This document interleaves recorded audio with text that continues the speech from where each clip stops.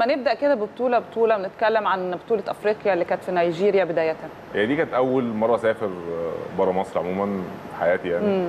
كانت أول بطولة وكان فيها توتر بس الحمد لله يعني مع بداية الماتش نسيت التوتر وكده وقدرت أجيب ذهب وكانت أنا ليها ذكرى خاصة متوتر على الهوا برضه لا لا خالص بجد خالص. أول لقاء ليك ولا ولا لا لا؟ كان في كان في كده. ماشي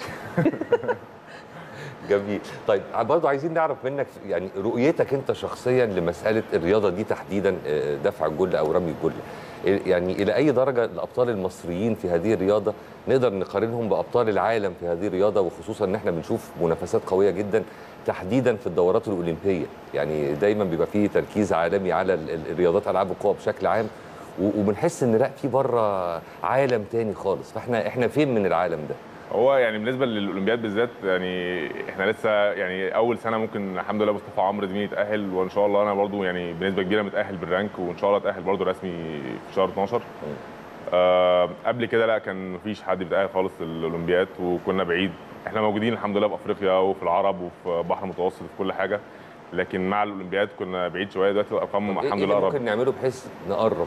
الحمد لله إحنا قربنا يعني إحنا already قربنا السنة دي والسنة اللي فاتت قربنا. وشغالين إن إحنا نقرب أكتر ويعني إن شاء الله يعني موجودين حتى في فاينل الأولمبياد بإذن الله يعني إن شاء الله.